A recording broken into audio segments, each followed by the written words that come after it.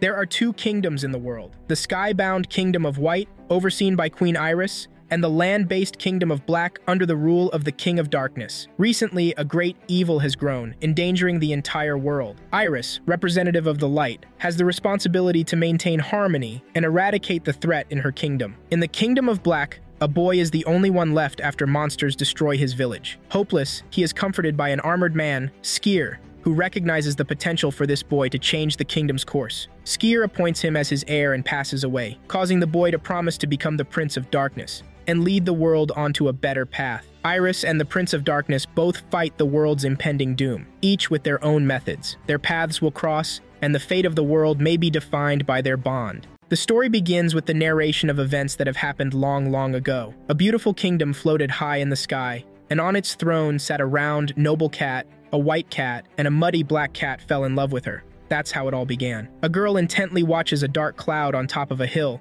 refusing to surrender an object in her hands called the progenitor rune. She flies towards the dark clouds and disappears into the darkness. A boy with a red streak on his hair is seen picking up what looks like hunting materials, preparing for a hunt, and he leaves the room to meet some men waiting for him outside. One of them tells him he looks fully prepared because of the sword he carries and he tells him that he is. They set out on their journey, prepared to catch a lot of meat, and the boy with the red streak looks up to the dark clouds as children play about the streets. The men begin to talk about how life is above the clouds, saying inhabitants can live without a care in the world, and they can give anything for that kind of life. Monsters have been rampaging neighboring villages, and soon enough a man runs to inform them that monsters are approaching their village. The men who might have been expecting it order the boy with the streak to take the kids and run to a cave in the hill and hide there. One of the men instructs the rest of the villagers to pick up weapons as the boy with the streak leads all the children to the cave. The women come to them with large forks and tell the boy to take care of the children saying they'll handle the monsters and bring back a big one. The monsters finally arrive and everyone joins together to protect the village.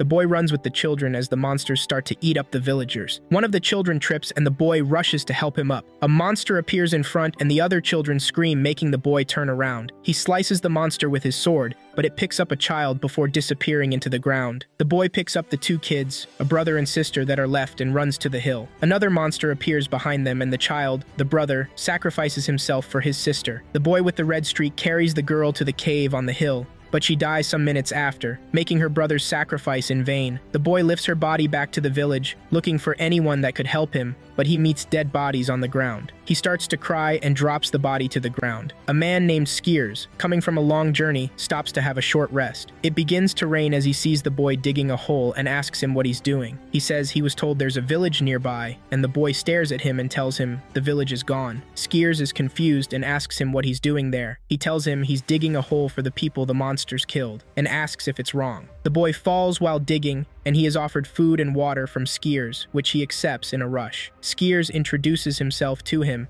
as the rain subsides and asks the boy what his name is. He tells him to call him whatever he likes because everyone does and asks Skiers if the King of Darkness rules the country. Skiers affirms it, and he asks why he lets the monsters run wild, Skiers tells him that the King of Darkness has his own concerns, and the boy looks up and wonders if the king is concerned about the right things. Skiers asks him what the right things are and he tells him the right thing is making everyone happy. He stands up to keep digging, and Skiers asks him how long he'll dig. The boy stares at the sky and tells him the hole is too small, and it has to be deep enough to reach the sky. Skiers is confused, and the boy tells him he doesn't need him to understand, because sometimes bright light shines into the depths of the darkest holes, and he likes it. The boy comes out of the hole and tells him everyone is the same when they're in a hole. Skiers throws a sword towards him and asks him to pick it up, so he'll teach him how to improve things without digging holes. They start to battle, but it is evident Skiers is more powerful than the boy and he reveals to him that he isn't the king because he wasn't chosen when he tried to be. All the training is for the boy to see a reason not to give up, and Skiers asks him if he'll dig holes forever,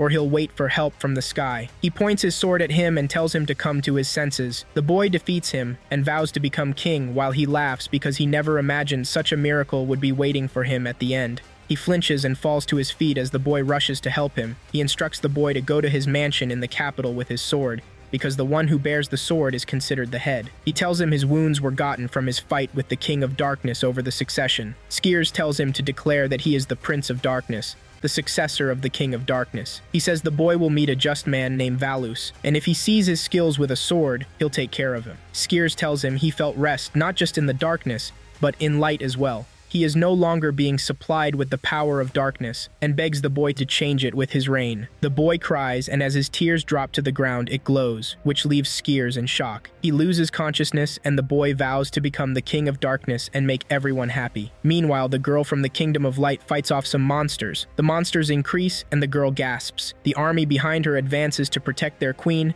and she uses her powers to increase the strength of her army. They keep fighting, and another girl, Shema, notices that the darkness is expanding. She returns to the town after the battle and the commander, Fias tells the men to prepare for the next battle. A little boy, Theo welcomes her home and she thanks him. Shema, Fias, and Theo walk home, and Theo asks Shema how her work was and if she's hurt. Turns out they are all siblings and they converse happily about the battle and how the queen is trying. Later that night, Fias asks Shema if she receives the rune's protection through her gem and she affirms, but still, she is hesitant to attack, because darkness is part of the balance. Fias assures Shyama that the queen is wholly dedicated to vanquishing the king of darkness, and asks her not to say such things to others. Iris has a conversation with her advisor, and wonders how long her power will work against him. She then tells him they should increase their military training. Meanwhile, the boy with the red streak enters the capital and is accosted by a knight who calls him a thief. He asks him to return his lord's sword and draws his own sword. The boy tells him Skeets is dead, but he doesn't believe it. He tells him his name and he's in shock. The boy declares he's the Prince of Darkness, the king's successor, and Valus acknowledges him and leads him to the manor. The queen speaks to the progenitor rune, and Shyama comes in to meet her. She tells Shyama not to refer to her as queen, because she's like an older sister, and they train together to become queen. They talk about how the forces of darkness have been steadily growing in power,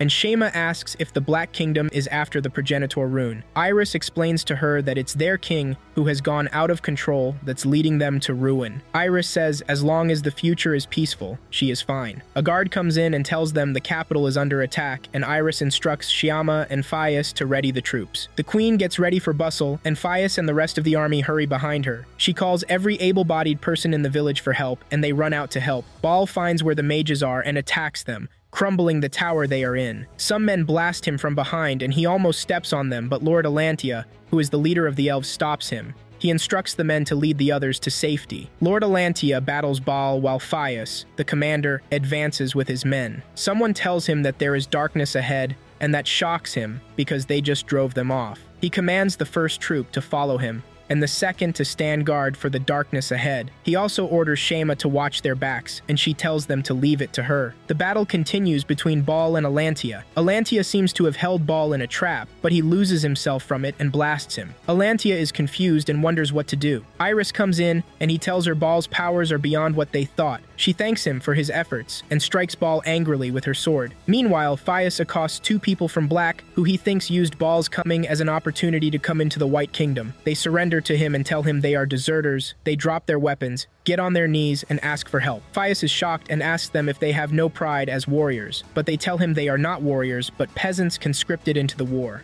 As they beg Fias to believe them, the two men turn into monsters and attack Fias to his shock. More of the people overwhelmed by darkness come, and Fias orders his men to attack since there aren't many of them. The battle between Iris and Baal gets heated, and she asks the progenitor rune for help, but her powers aren't still a match for Baal's. He blasts her, but she evades them. She realizes she needs more of the progenitor rune's power, and asks for it. Alantia, who is nearby, warns her against using so much power, and Baal asks her if she thinks she can destroy him without getting serious. Iris sighs and thinks to herself that she can't put more strain on the progenitor rune, so Alantia lends her his spirits, but Baal isn't impressed. He flies away, leaving Iris confused. Iris looks up at the sky, and Alantia calls to her, but she orders him to give aid to the survivors. The wounded are tended to, and Shema comes to meet Iris. She tells her how awful the site is and how they were attacked on their way there. She tells Iris that Fias routed them, but they seem to be human soldiers. The both of them stand in silence. Valus stands in the courtyard and a man asks him if the King of Darkness still hasn't returned. He asks the man what he wants to know, and he says he wants to bring something to his attention. The man tells him about how his followers were sacrificed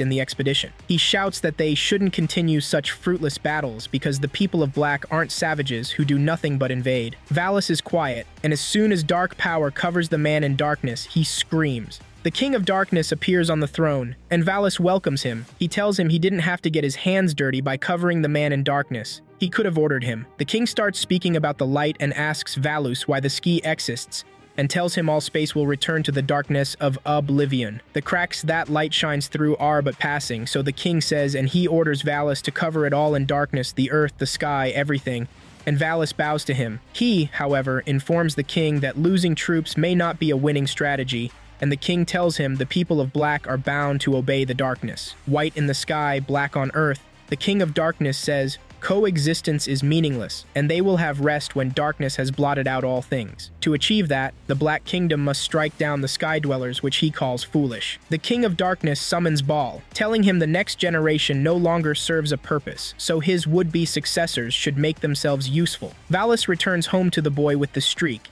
and he asks him where he has been. He tells the boy he was at the royal palace with the King of Darkness, and the boy asks him why. Valis serves the King of Darkness and his potential successors, but his loyalty to the boy is certain. The boy asks him to teach him how to use a sword since that will make him a good king, but Valis hands him books instead and tells him, a good king is vast in learning. The boy wonders why, and he explains that he needs knowledge to govern a kingdom because Without it, one cannot properly cultivate even a single grain of wheat. The boy wants to get strong, but Valus wants him to improve his speech so he can maintain his dignity as king. He tells him he isn't the only one who intends to be king, and they will begin swordsmanship lessons the next day. Valus trains him and admits that the boy has become stronger than when he came. He gives him Skir's armor, and the boy is happy. Still in the Black Kingdom, Lady Groza walks with her guards and stops to rest. She wonders why potential successors have to come there, and one of her guards asks her not to say such things out loud. Monsters attack them suddenly, but Groza blasts them with her powers and they fade. She starts to brag and doesn't see the monsters behind her in time, but the boy with the streak strikes them before they can reach her. There is a twinkle in Groza's eye as she thanks him and asks him who he is. He tells her he's aspiring to be the King of Darkness, and she blushes as they talk. The boy leaves and she keeps staring at him, but her guards bring her back to reality. She calls the boy and takes him elsewhere to talk. She would like him to compete with other potential successors, and he agrees.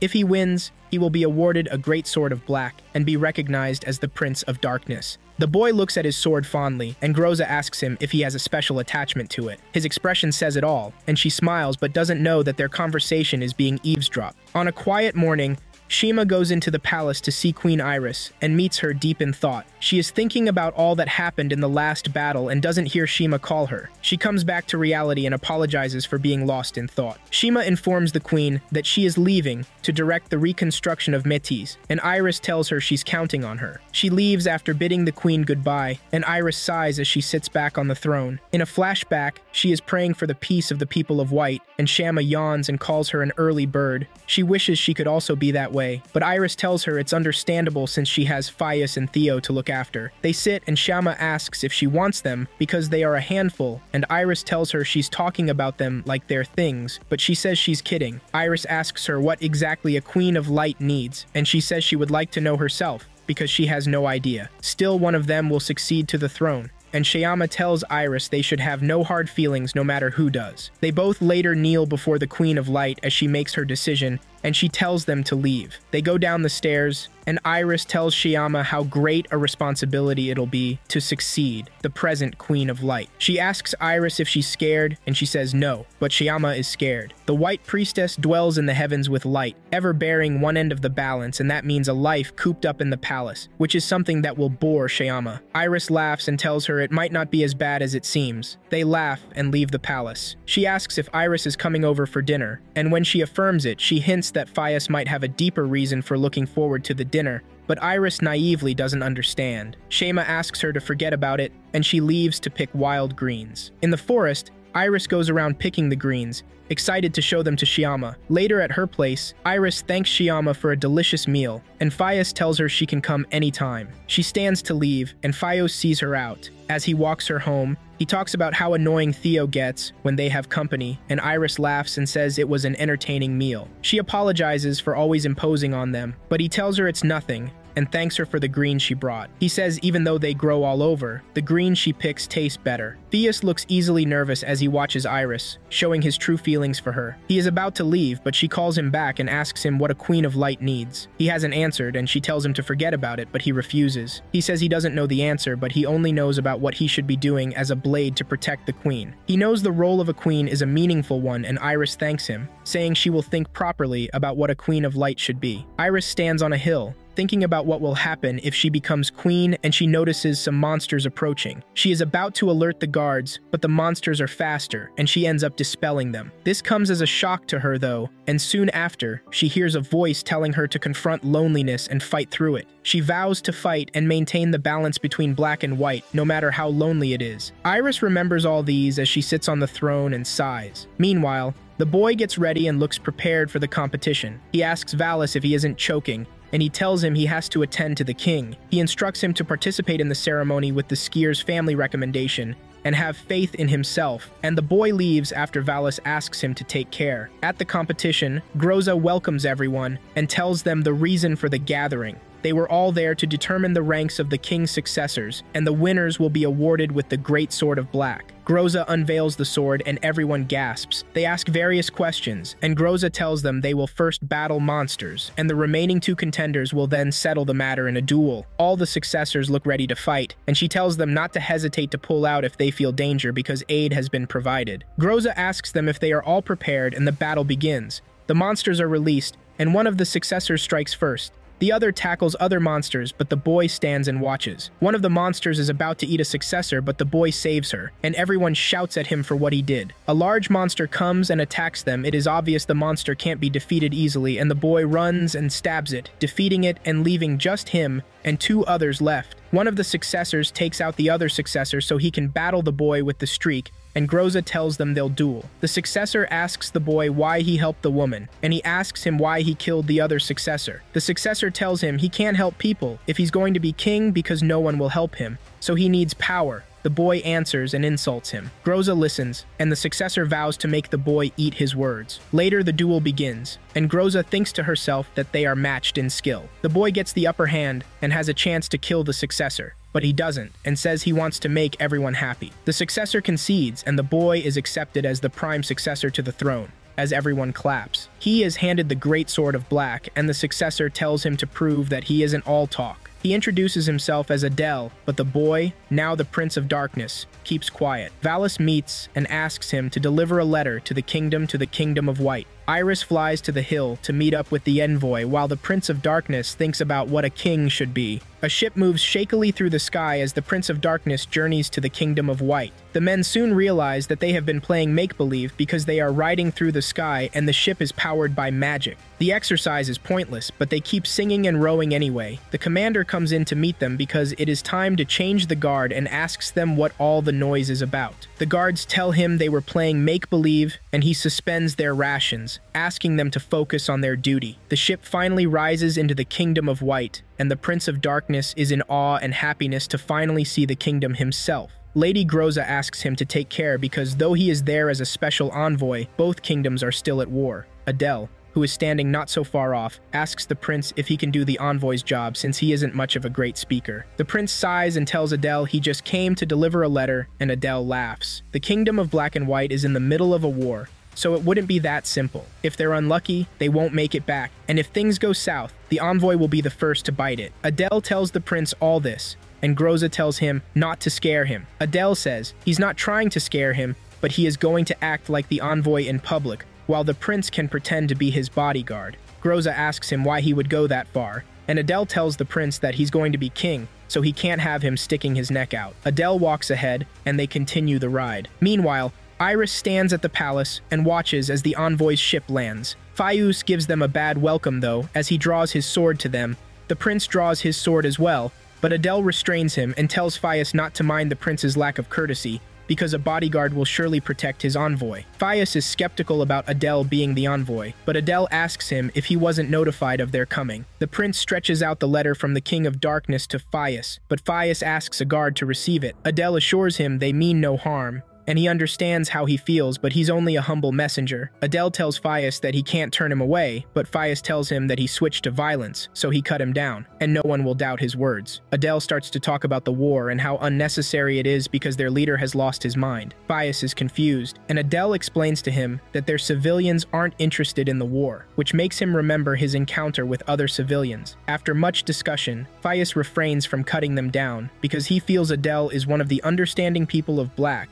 and he asks them to put their bags down while he handles the formalities. Fias takes the letter before Queen Iris, who reads it intently. Fias kneels and asks to escort them. He escorts them around town as the prince smiles at the scenery and the general peace. Fias starts to say things, but Fias stops him asking him to have some courtesy as a delegate. Adele excuses himself and apologizes for his behavior. After he's asked, he tells Fias their envoy will leave that day if the negotiations go smoothly, but he's sure it will take a few days to iron out the details. Fias escorts them to the king's presence, and the prince can't take his eyes off Iris, even after she welcomes them. He finally snaps out of it, and he and Adele kneel before her, asking her to forgive their rudeness. The queen sighs and sits. Presently, relations between the kingdom of white and black are far from amicable, and the present situation could easily lead to the destruction of either. Adele agrees with what Iris says, and she asks him why he's proposing an alliance. Adele tells her that there's always a chance for an alliance, but she tells him that after Baal is defeated, the King of Darkness will come for them. At that moment, the prince chips in that the King of Darkness is considering abdicating the throne, but the Queen's advisor is in disbelief. Adele asks Iris what she thinks, and she tells them she will answer on another day. The ship heads back to the Kingdom of Black and the guards talk about how they thought the envoy was going to be killed. The head guard is tired of the other guards at that point as they beg him to call them by name. He agrees, and they shout happily. The three guards are Achibe, Bakase, and Chichan. The head guard later changes Sichan's name to Chansei because he complains about it sounding like a nickname. The three guards rant about their names and the head guard asks them to pipe down when Lady Groza walks in angrily. It seems like they are having fun, so she gives them cleaning duty. A messenger from Valis delivers a summons message for Lady Groza, and she wonders why she's being called. Lady Groza passes through the market, and a merchant talks with a masked man about how beautiful and powerful the lady is. The masked man is shocked about how the merchant knows Lady Groza can subdue monsters. The masked man tells him to stop talking and leaves before he hears anything else. Lady Groza stands in front of the palace and looks up, praying for the safety of the prince. Back at the Kingdom of White, Fias leads them to their rooms, and when they get there, the prince asks Fias how Queen Iris is,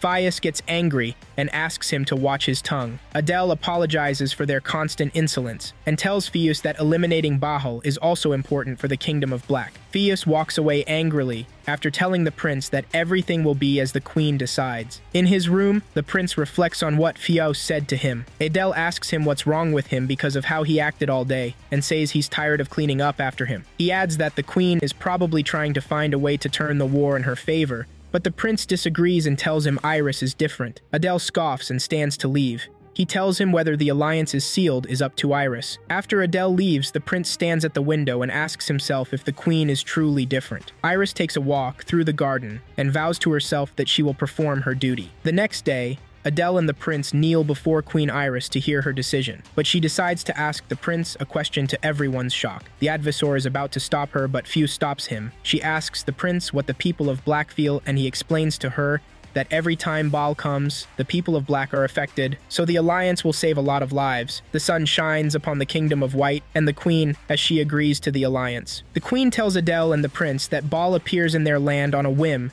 and causes harm for no purpose, and Adele informs her it also happens in their kingdom. He promises that the current King of Darkness is about to vacate the throne, so the aggression won't be passed to them. Later that day, Shima comes into the throne room to inform Iris about the arrival of the Mage Force, but meets Fias there instead. Fias asks her how the construction of the Matis is going, and she tells him it is going smoothly. He hands her the alliance letter that Adele and the prince brought, and she reads it. Shyama asks if the queen has gone to stop Baal, and he affirms it and adds that the envoy will be held hostage in the Kingdom of Light in the meantime. Shyama asks what will happen if the envoys become violent while Iris is absent, and Fias tells her it is the reason why he is staying there, although they don't seem so bad. Shyama tells him she won't know unless she meets them. She goes to take a short rest and asks Fias to introduce them later, and he thanks her. The queen flies across to the Black Kingdom as a merchant who just made a sale, tells his wife he has a bad feeling about that day. Soon enough, they see Baal in the sky and run inside. Baal flies over to meet an army of the Black Kingdom ready for him. He laughs, and Valis instructs them to strike. As soon as he lands, he hands over the command of the crossbow troops to Groza and tells the army that Baal is coming at any moment to attack their kingdom for no reason, so they should show him what the elite troops who defend the kingdom of Black can do. The troops are all riled up and Valis flies up to meet Baal and strikes him by the order of the king of Black. Baal is unfazed though, and tells Valis he is impressed he got so many toys together just for him. Baal appreciates their hospitality and crushes down the monsters sent to him like they are nothing. Valis angrily tells him not to mock them, because Valis asks him to send a new toy. Lady Groza makes the crossbow troop draw Baal in close, so she can use her powers on him, but they are ineffective. Groza is in so much shock, but Baal laughs at her. She asks other troops to get ready, but runs away as Baal gets closer to them. Valis sends some monsters to him, and he seems to have been tricked into a spell hold, but he comes out of it and tells them he is a connoisseur. The spell hold is broken, and Baal keeps attacking them. But that isn't all the Black Kingdom has. The spell seems to get him, but they are all shocked to see him come out of the explosion unhurt. Baal laughs and starts to attack them, calling Valus a boy. Valus gets angry and slices him with his sword a couple of times, but it proves fruitless. He immobilizes them and is about to defeat them, but the King of Darkness saves them. The King of Darkness and Baal argue for a bit, and then Baal strikes. The King of Darkness fights back, but Baal seems to be enjoying himself. He tells the king that he's not living up to his boast, and the king strikes him angrily. Baal's powers seem to be stronger as he takes the king down. He is about to remove the Kingdom of Black from the balance when Iris comes in and holds him in a spell. Baal isn't the only one shocked, so is Groza, and she realizes the envoy's visit was successful. Iris holds Baal with all her powers, as received from the rune, and Baal mocks the King of Darkness that he would stoop low to ask for help from the Kingdom of White. The king isn't moved though, and he says he is okay as long as Baal is gone. Baal is then trapped for eternity in the volcanic prison. The king reflects on the fall of Baal, and Iris leaves the Black Kingdom because her mission is complete. Meanwhile, in the Kingdom of White, Shama meets Adele and the prince, and calls them the special envoy. Adele thanks her for granting them an audience and tells her that she is gorgeous, even with her heavy responsibilities as a court mage. Shima tells him she doesn't need his flattery, and he apologizes. Shima confirms from Adele if it's true the people of Black also suffer from the war, and he affirms it, and tells her that anyone who defies the king will die. Through the window, the prince sees Iris flying back from the Kingdom of Black and runs out to meet her. Adele calls to him, but he doesn't turn back. Fias and Shiama also see Iris and run out. Iris lands tiredly and is about to faint when the prince catches her and lays her down, asking if she's okay. Fias and the others come in panicking, and Shiama says she probably used too much power. She asks Adele and the prince to wait in their rooms and they take the queen to the palace. Iris breathes with strain and Fias asks if she will be okay. Shima feels her and says she acted as a medium for the progenitor Rooney, which put so much strain on her. She asks Fias to give the battle report to the envoy, and he is skeptical, but he goes. Adele visits the prince's room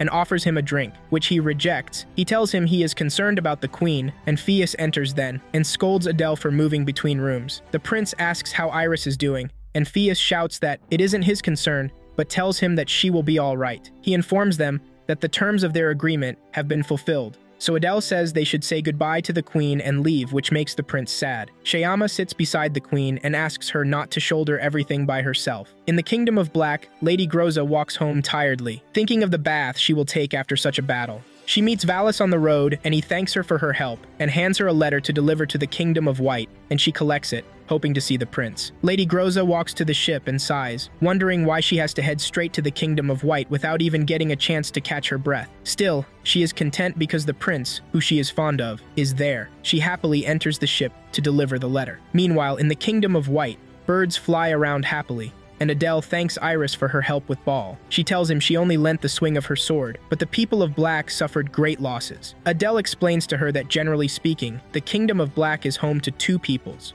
humans, and monsters. He tells her she doesn't need to concern herself with it because the monsters are heavily dependent on darkness. Iris tells him that she hears not all serve the King of Darkness, and she prays they are reborn as pure souls. Adele, still on his knees, tells the queen her words are more than they deserve, and even as a citizen of Black, there can be no greater honor. He promises that when they return to their country, they will seek the opportunity to advise their king to cease his assaults on the kingdom of whites. Fias, who knows the implications of that, tells him he's offering his head, but he says if it will help both their kingdoms he doesn't mind. Fias is still skeptical, and Adele assures him that the king will understand. Just then, a guard comes in and tells the king there's a messenger from the kingdom of black. Iris asks them to show them in, and Groza comes in and introduces herself. She asks the queen to pardon her sudden appearance, and Iris pardons her and asks her to state her business. Groza tells them she bears a letter from the King of Darkness and hands it to the queen's advisor. The advisor hands it to Iris. The advisor hands the letter to Iris, and she reads it as everyone waits for her to speak.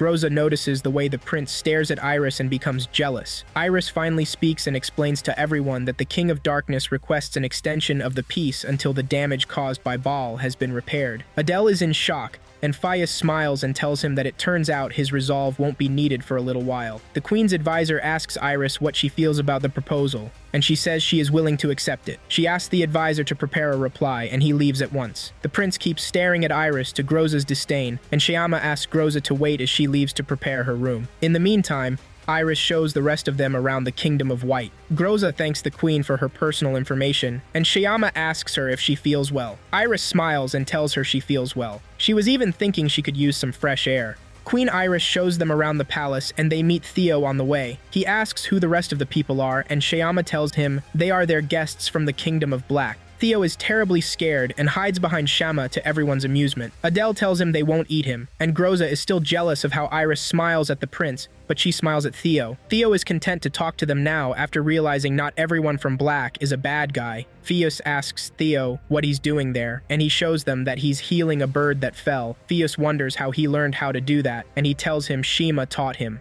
Shima looks at Theo with pride and tells him Theo has talent and might surpass her one day. The birds fly away happily, and they all laugh at Fias, who is still surprised at Theo's talents. Groza tells them that the birds in the Black Kingdom aren't this well behaved. Groza brings an idea for them to switch clothes and they all head in. Adele and Fias exchange clothes first, and this leads Shyama and Groza to exchange, while Iris lends them a hand. Groza wonders who she can swap clothes with, and she picks Iris. Shyama tells Iris a messenger of black can't wear her clothes, but she can wear Groza's. Groza, who has agreed, takes off her clothes to their surprise. Iris wears the clothes and asks how she looks. Groza tells her she looks good, and they keep changing their clothes as the men wait for them. They finally come out and the men rate the looks. They admit the looks suit them, and Groza gets jealous as the prince tells Iris that her clothes suit her. After they all play chess and laugh together, Shima suggests she tells Iris to send the guests to their room. Iris disagrees though and says she hardly spends time with them, so this is her chance. Theo tells her she can come visit them anytime, and Shyama says the queen has to protect her kingdom, and Iris smiles at the prince. Groza sighs tearfully as she notices the chemistry between the prince and Iris. Adele makes a joke about Fias' constant losses in the chess game as they laugh,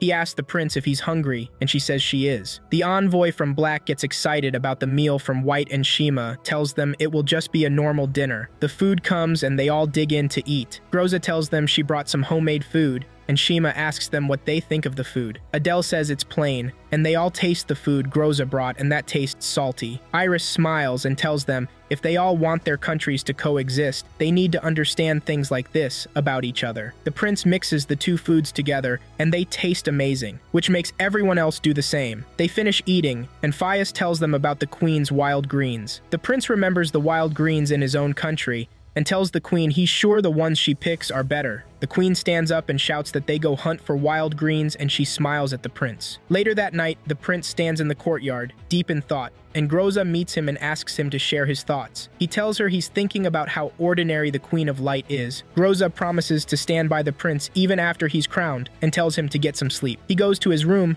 but we can also see that Iris is also awake. The next morning after Iris hosts the envoy, she takes them wild greens hunting. Theo remarks how happy she looks, and Iris smiles. She's about to reply to him when she trips. Fias rushes to help her, but she tells him she's fine and she just stumbled a little. Shyama tells her to be careful because she isn't exactly in perfect health yet. Theo runs forward and asks the others to join him. Adele notices that Fias has a sword, and asks him what it is for. Fias tells him one can never know where darkness may be lying in wait. Adele smiles and acknowledges that Fias is always on guard like the knight commander he is. Iris leads everyone deep into the forest to the front of a huge tree. They all look at the tree and exclaim, and Groza asks Iris if she always picks greens there, and she says yes because they grow there faster. Fias puts his bag down and announces that the hunt should start. Adele proposes a competition. He says, just picking greens won't be as fun if they weren't in groups and they compete to pick the most greens. Theo loves the idea, and so do Fias and Groza because they intend to spend time with Iris and the prince. Adele suggests they pick teams in a way that promotes peace and coexistence between their kingdoms, and they agree. But before they pick,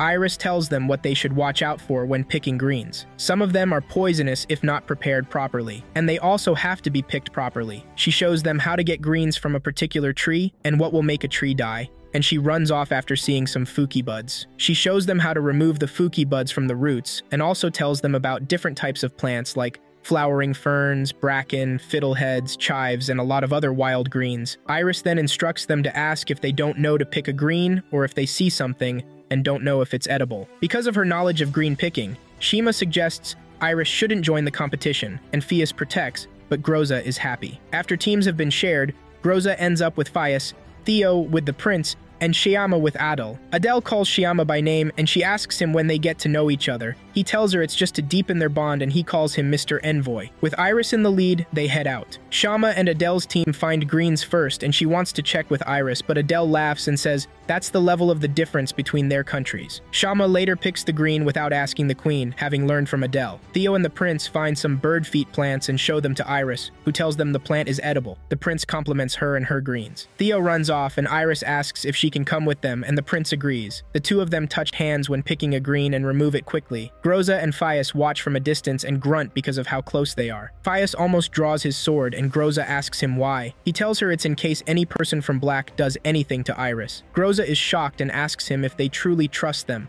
and he assures her that they do, and he has noticed that the people of black also trust each other like the people of white do. Groza tells him the reason is she has realized that the other guy has the potential to be black's king, she remembers all she said during the duel and sighs because she sympathizes with those words. Fias thinks it's Adele, but Groza shouts that it isn't. After they compile their catch together, Iris looks at everyone's basket and is impressed because they had a nice catch. She could only salvage a few plants from Fias and a cross though, and Adele mentions that it seems he and Shyama have the most plants. The prince suggests they count it, but Adele doesn't see the need after the counting is done. Theo and the prince's team have more greens than others, and Adele is sad his team lost. Shyama consoles him with the fact that it was a close competition. Iris tells them they will cook a meal with the greens, and Theo shouts for joy. The prince stands and stares at everyone smiling, because for once the people of black and white are getting along. They are about to leave, and Shema asks the guys to get some dry wood while the ladies go fetch water. While they get the wood, the prince talks about how warm the wood is, and Fias knows it's because there's hardly any sunlight in black. The prince is happy to be able to experience how pleasant it feels,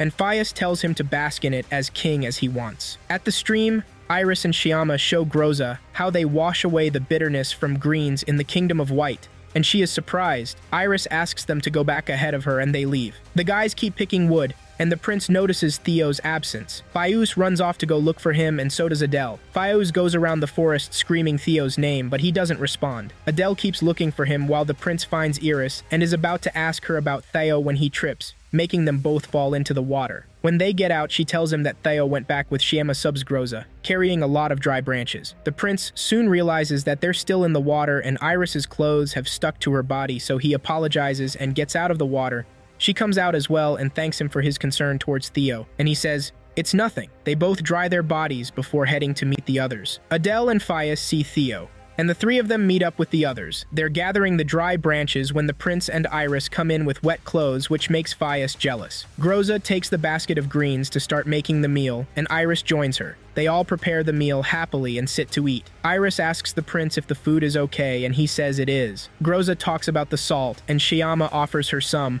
The queen is happy to see everyone getting along and hopes they spend time like this from that moment. Adele and the others receive a letter from the King of Darkness for them to return home immediately. They take a walk to meet Fias, and the prince is deep in thought. Adele and the prince catch up with Fias, and Adele thanks him for meeting with him. Fias asks him what he's grumbling about, and he asks him if he's concerned about him. Fias hands him a sword, and he's more concerned with him doing the right thing back in his kingdom. Everything works out in the end, and they both smile at each other. Adele and the prince then go to say their last goodbyes to Iris as Groza watches guards load gifts into their ship. She thinks about how lonely she will be, but consoles herself with the fact that the prince will spend less time with Iris. Iris is with her advisor and Shima when Adele and the prince come in. She and the prince hold each other's gaze, and Adele nudges the prince to kneel. Iris smiles and hands the letter to her advisor, who hands it to Adele. She tells him to deliver the message to the king that the White Kingdom wishes for a trade agreement. Adele smiles and tells her it'll be a nice souvenir and thanks her. She tells him that if they wish for balance, then their kingdoms are the same, and if they can make a new treaty, then it can be possible. Adele asks to leave, and the queen dismisses him,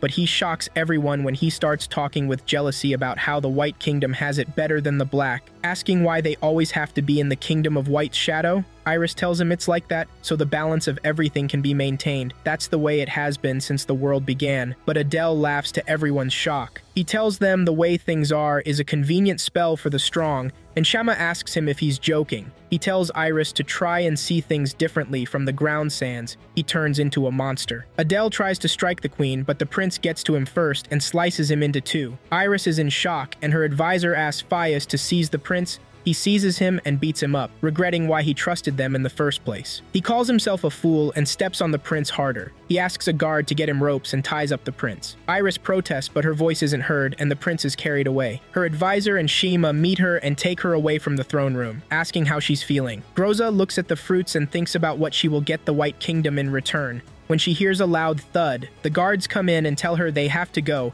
because the envoy has been arrested. Fias walks in angrily, wondering how much of a fool he has been for thinking their kingdoms could have been friends. Shima asks him to calm down, but he can't, and he screams about it. Theo is shocked, and Shima still tries to calm him down but he tells them he doesn't understand anymore. He asks them if balance means opposition and knights are doomed to fight for all eternity and Theo asks him why he is thinking about eternity when he hasn't experienced it. He tells them about a fight he had with a next door neighbor which he knows won't drag on. He asks Theo why grown-ups can't be that way and runs away angrily when he tells him he will understand one day. Shyama and Fias talk and speculate that in Theo's time, maybe they won't drag on and Shyama tells him they should go perform their duties. She bids him goodnight and asks him not to stay up too late. After she leaves, Fias wonders how Iris would feel, knowing that his worries are nothing compared to hers, and he vows to give all he has to protect her. Iris kneels and prays to the progenitor rune asking why there is always strife. She tells it that she can't last long if it's going to be hatred all the time, and it shines a light on her. The progenitor rune instructs her to decide on what must be protected. The prince regains consciousness in the dungeon and tries to figure out how he got there. He remembers getting beat up by Fias and realizes. He wonders why he protected the Queen of Light and if he made the right decisions. The prince asks himself if it was right that Adele was given a secret order to kill the queen. His thoughts are interrupted when a white cat appears in front of the dungeon the prince is still wondering where the cat came from when it opens the dungeon gate, and acts in a way that suggests he follows him. The cat takes the prince all around the kingdom and stops at a hilltop that has the sword. The white cat turns to the progenitor rune and shows the queen to the prince, Iris falls and he catches her. They clasp hands. She says the clasping of the hands makes them stronger, and the prince hugs and vows to protect her. He reveals he is the Prince of Darkness and promises to fight for peace between their worlds. He stands to leave and she thanks him for everything. The Prince of Darkness tells her to follow her decision because she's not alone and waits until the perfect time. Iris vows to fulfill her promises and he leaves after telling her she's not alone. The queen walks around the palace and thinks about the prince. She wonders how he puzzled her. He was there from the beginning, but held back and looked so unaffected. It was odd how she could tell at once that he was the Prince of Darkness, but the impression he made was the complete opposite. Iris admits she was worried that someone like him could inherit the throne, but also didn't think she would get a chance to have a meaningful conversation with him. She remembers the promise he made to her and sighs, looking into the sky. Later that day, Iris stands on the hill and gasps as she sees a bunch of flying monsters approaching. She defeats them, and more appear. Moments later, Fias and Shyama kneel before the queen, and her advisor asks him about the monsters, and he tells him that they appeared but in small numbers. Shyama mentions that scouts appeared in Meitei as well. Faced with these simultaneous assaults, the queen's advisor asks her what they should do. Iris instructs them to increase the watch at every garrison, and she will head out as soon as they detect the darkness is attacking. There may be other raids, so she stations the main forces of knights and mages by the palace. She instructs them to have the knights and mages ready to respond at any time, and Fias sighs. Everyone gasps when Fias announces to Iris that he wants to take a short leave. As a Knight of Light, he must protect the Queen, Her Majesty. Iris, the Queen of Light, but she seems terribly exhausted from the previous battle. Shima protests that they can do anything to secure her safety, but Fias begs to leave in search of a way to restore Iris' health. Shima asks Fias who will lead the knights in his absence, and he tells her Iris is White's heart in school, so her health should be their number one priority. Iris finally speaks and tells him not to worry that she will recover quickly, and orders him to have the knights train in preparation for an invasion from the darkness, and the mages to focus on practicing spells. Fias wants to argue, but Shima stops him. They leave her presence, and when they're outside, Fias talks to Shima about Iris's health, and she tells him she is against him going. Who will take command when he's not there? The knights can't be left uncommanded, and Fias tells her she will be the one in command. She laughs and asks him not to joke around, because he expects her to swing around a sword. It seems Fias doesn't have his plan figured out yet, as he asks if he can ask Theo to do it. Shima tells him Iris will never allow that, and she asks him how he even intends to heal her. Fias tells her he has lead and she sighs and tells him not to do anything rash. After Shima leaves, Fias stands there deep in thought and remembers his encounter with Lord Alantia. Alantia has a spell to heal the queen, but it can prove to be dangerous. Iris is drained because of her fight with Baal. She has regained her strength, but the magical nerves that transmit it are yet to recover. Ordinarily, the only choice would have been to wait for the effects of pure soul to heal them naturally. But Alantia informs Fias there is a place where the blessings of pure soul are greater. He tells him the masses of pure soul in the inland spring the shining droplets will heal Iris. Alantia informs him that the way is hard, and even reaching them is difficult, and Fias asks him if it will be difficult if the both of them go. Alantia says they won't know till they try, and Fias begs him to show him the way. Alantia asks him how the palace will fare, and Fias lies to him that Iris already gave her approval. Alantia agrees to help him, and he gets excited. Meanwhile, in the Magus, Shema and the other mages perform an incantation which makes Shima stagger and feel faint. The other mages rush to help her up, and she encourages them. She tells them the linked incantation draws on more power from the progenitor rune than a single person can bear, and if anyone is lacking, the spell will fail, which will cause a backlash that will hit everyone. The darkness has resumed invasions, and it's just them, the queen and the knights that can face them, so they need to put in their best. They are about to begin the spell when a knight comes in and informs Shiema that Fias is missing. She, in shock, runs to the queen to inform her, but she already knows. Shiema asks her what they should do. Iris tells her they can't send anyone after him at the moment, so they pray he returns safely. Shiema apologizes for Fias's behavior, but Iris tells her it's fine and asks her to go back to the Métis. Meanwhile, Alantia shows him the cave leading to their destination, and they go in. In black, the prince trains with Valus, and remembers everything that happened after he returned to Black. He isn't sure whether it's connected to what happened to Adele, but since he came back to Black, he has been denied access to the palace. The prince didn't tell anyone about meeting Iris, who he feels is carrying so much on her shoulder, not just for White, but for the whole world. He vows to support her because she doesn't deserve to bear the hardship alone. Valus notices the change in his training and asks him if he went to renew his determination in white. The prince sighs and asks, Valos if things are fine the way they are, but Valos keeps defending the king. He informs the prince that there will be no contract between white and black for eternity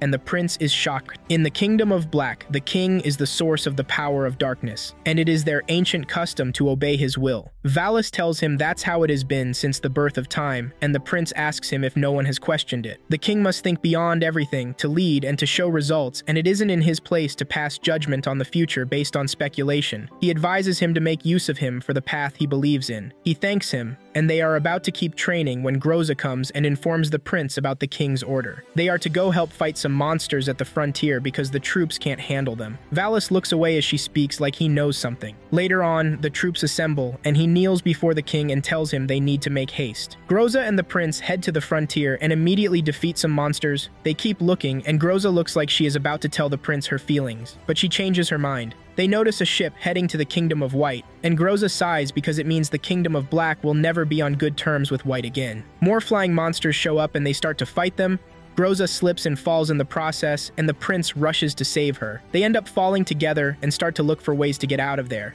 The actual monster, a huge one, shows up, and the both of them prepare to subdue it. The prince runs towards the monster, and Groza uses a spell on the monster. In white, Iris waits on the hill and watches as the battleships from Black invade their territory. The mages inform Shiama that the darkness has appeared, and she tells them to draw them close so they can intercept. At that same moment, Alantia and Fias enter deeper into the cave. Sometimes Iris is at a loss. She's responsible for more than just the Kingdom of White, and when she became Queen of Light, she really felt the weight of the balance.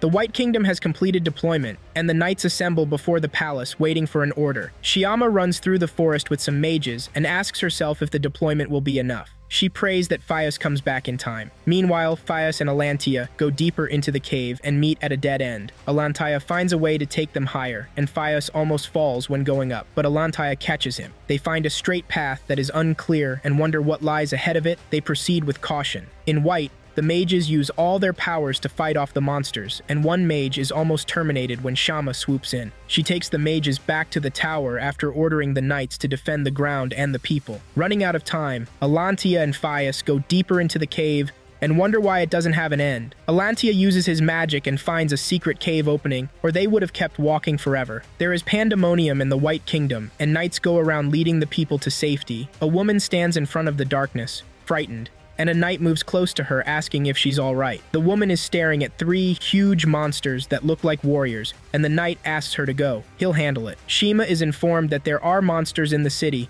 and she wonders what to do. Alantia and Fias blast through the cave and see a crystal covering. Fias tries to cut through it, but it doesn't work. Alantia tries and it opens. This makes Fias ask if Alantia has been there before, which he denies, saying he just had an idea. They run into the opening and find the shining droplets protected by the water around it called Soul. Fias excitedly runs towards it, but Alantia stops him and tells him Soul is too powerful. He suggests they withdraw to devise a plan, but Fias goes in anyways, saying there's no time and the darkness could be reaching out its claws ever as they speak. Shama is in charge of the knights, but they are probably confused, and Iris is more important to Fias, so he struggles and gets the droplets. After he gets it, he and Alantia return happily to their kingdom. Shima orders the knights to lead the people to the palace while they handle things, but Iris swoops in to help them. She staggers to retain her strength and tells Shima to perform the linked incantation. The spell casts a shield on the White Kingdom, and it keeps the darkness away temporarily. Iris faints eventually, and Shima carries her to the palace. Alantia and Fias come out of the cave and notice the shield which makes them rush back.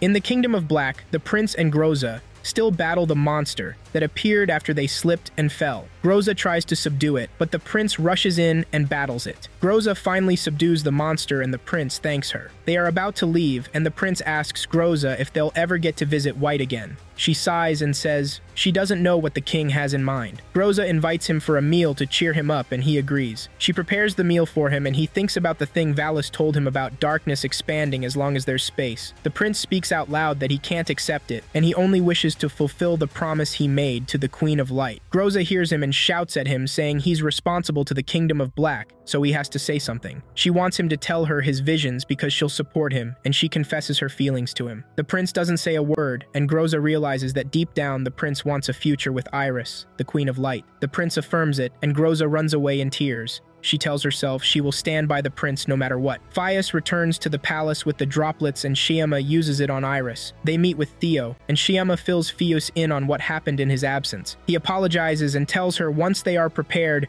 they'll bring the shield down. Iris prays to the progenitor Rune, realizing that she can't handle the present. She asks for help and remembers what the prince told her about following a path she believes in. She thinks about the prince fondly, and Fias comes in. He tells her not to push herself too hard, and she thanks him because he and his siblings have helped her a lot. He tells her it's nothing and promises to protect her with his honor. She thanks him again, and they leave. The prince sits in his room and looks at the sky towards the White Kingdom. He passes through the market later on and overhears a merchant advertising his goods. The merchant mentions that the battle happening at that moment is a final battle between White and Black, and that makes the prince stop. The merchant is surprised to see him because he is expected to have accompanied them to war. The prince tells him everything is fine, and the merchant makes him promise to reduce taxes when he becomes king. The prince agrees, and soon some children meet him. They ask him if Black will win the war and tell him to make sure they do. A masked soldier comes at that moment, saying he was asked to summon the prince. The merchant wonders why the soldier looks menacing, and the prince says goodbye to the children and follows the soldiers. Groza sighs and looks on helplessly from a pub. Theo packs his bags as Fias tells him to run if the battle that is about to happen next becomes too fierce. Theo agrees to run to the sea with the aid of magic, and Fias asks him to hide in a safe place because that is their last resort. Theo says he won't bother asking where he is supposed to find a safe place but tells them to run if it looks like they will lose. Fias assures him that his big brother won't lose. Theo has the assurance that as long as the Kingdom of White has Queen Iris on their side, they can't lose. Fias agrees with him and so does Shayama. Fias thinks to himself and swears that as long as he has even a spark of life in him, he will keep defending her. Iris sits in the throne room and thinks about all the princes told her, about his promise for them to bring peace to the world together.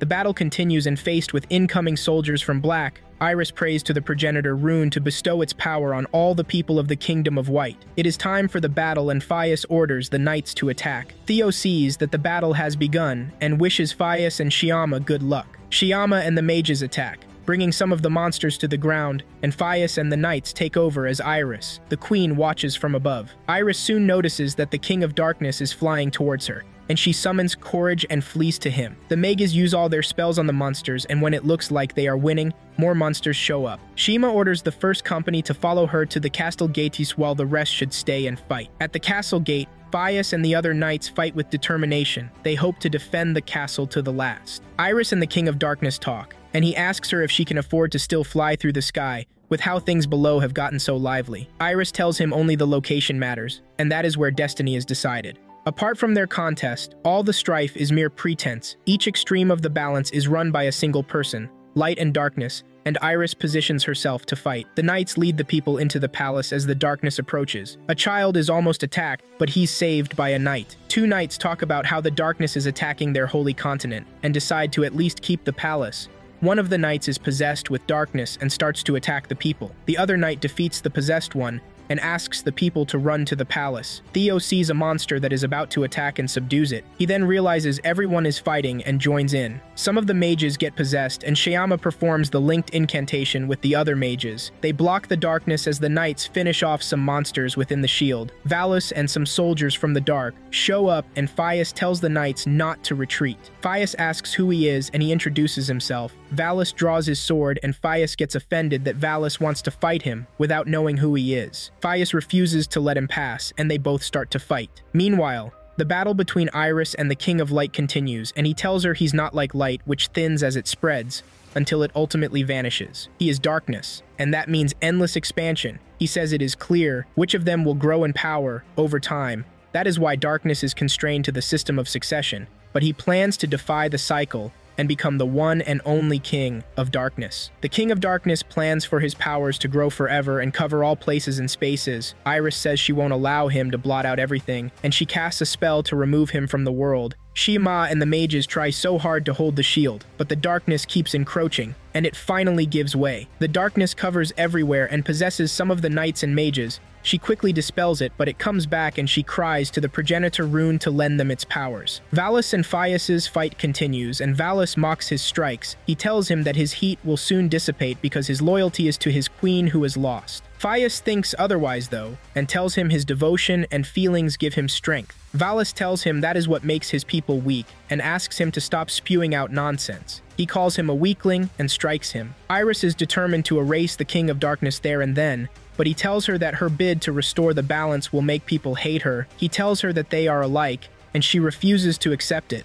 The King of Darkness asks her if she should be monopolizing the Progenitor Rune's power, and he tells her not to underestimate his darkness abilities to infect all her beloved people. Iris is determined to restore the balance no matter what, and she strikes the king, but he says they both know what the outcome will be. He strikes her, and she falls from the ski. The Magus see her, and Shima performs the incantation once more, but it doesn't work and she cries out to the progenitor rune, saying she thought it was infinite. The sky is already dark, and she kneels on the ground in tears. She cries and complains, realizing that the situation is hopeless. She suddenly stands up, though, and says, they will pummel them since they can't use magic. Iris lands in the castle and tells her she heard her shouts of defiance. Iris acknowledges it, and tells her there's still a way to save the kingdom. They assemble the knights who aren't up to 10 to perform the incantation. The incantation doesn't work, and the King of Darkness laughs. He says the history he plotted runs too deep for that. Iris starts to cry, and Shema encourages her to do what she feels is right her duty as a queen, and she flies towards the castle with renewed determination. While the king still boasts, Shema blasts the king of darkness, but he possesses her with darkness. The queen kneels before the progenitor rune and cries. The battle continues both in the kingdom of black and white as the prince runs from a monster. The masked knight that is with him transports him to a safe place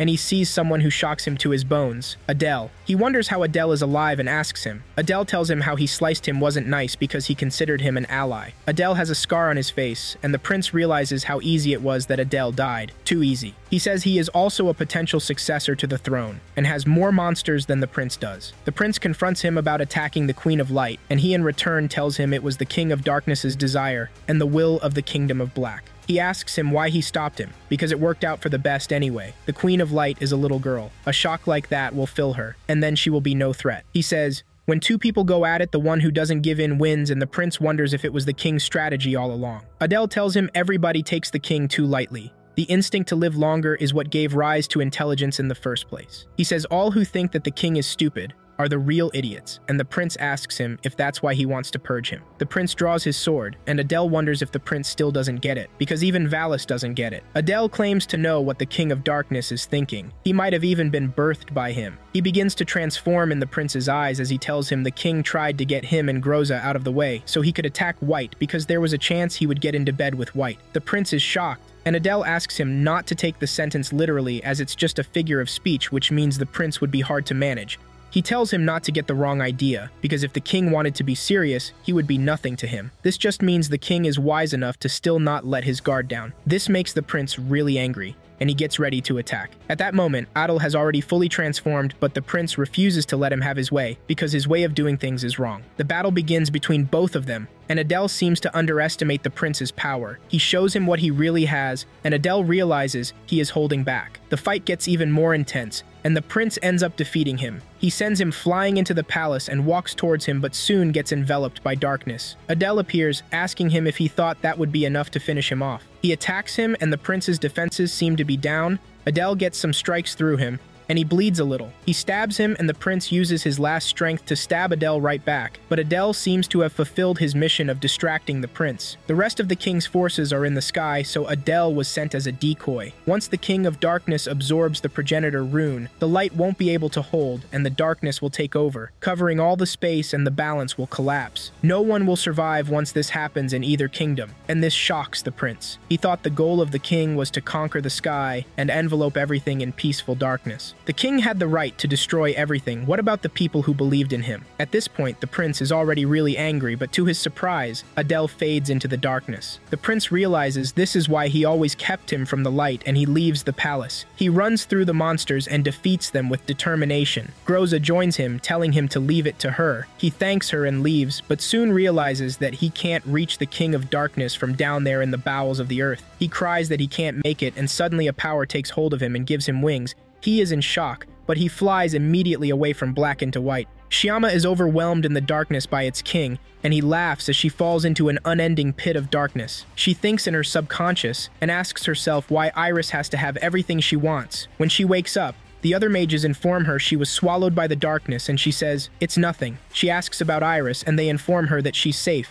She instructs them to keep the city safe, and they agree. Iris kneels in front of the progenitor rune and prays. She says she couldn't protect the kingdom of White, or the balance between light and darkness. She thinks about how she promised to make the world peaceful with the prince but failed, so she feels like a liar. Iris looks like she's about to sacrifice herself when the prince comes flying through the sky. He blasts monsters and wonders why any of this could be right. He keeps thinking about everything the queen has told him, and he asks the birds not to get in the way. He knows what evil is because something else is mixed with the things he should believe in. The prince seems to feel what the queen is about to do, and rushes there faster, as Iris begs the progenitor rune to seal away the darkness and black forever. Fias and Valis are still in a sword when the ground shakes, allowing Fias to strike Valis, who disappears soon after. Fias wonders where Iris is and how she's doing, and the inevitable starts to happen. Everyone notices that the progenitor rune is about to self-destruct, and Theo runs away saying he won't stop running even if he's the only one left. The self-destruction begins and Fias wonders why Iris couldn't wait for him. He is soon swallowed into the ground with the rest of the kingdom of White, and the prince sights Iris as she falls. He calls out to her and she is shocked to hear him and apologizes. She tears up and bids him goodbye as she falls and he reaches for her. Groza notices as Black begins to crash in on itself. The queen keeps falling and turns into a cat. The king of darkness is angry and asks if she wants to attack him with the progenitor, Runi, and also a floating continent. He doesn't notice when the prince swoops onto him and stabs him, taking him down with them, which is something Iris wanted. He goes down with the king and bids Iris goodbye.